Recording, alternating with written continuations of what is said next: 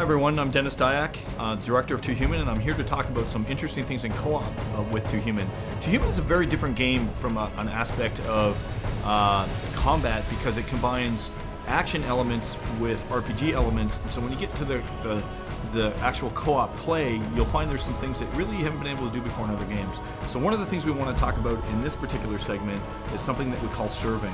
And uh, depending on uh, what weapons and layouts that you have in different combinations, this is particularly popular amongst the action or Twitch kind of players. So what essentially happens is you get someone with a hammer and who can tank a lot, who will run in and just uh, use the hammer to do a radius juggle. All the enemies will fly up in the air, and you have someone like a champion or a berserker that will then go through the air and continue to do air combat as the person continues to serve them up.